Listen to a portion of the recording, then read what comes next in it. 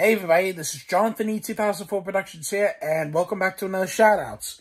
This shout I'm going to be going out for is Zombie the Kid Are Us. I think that's how you say it. Um, if you do me a favor and go subscribe to his channel. He makes really good videos. Like, he he makes really good uh, Hi-5 transitions, uh, kids like us videos, and uh, he does really good Hi-5 VHS openings, ABC versions, and I think they they're really cool. So I'm um, go check him out.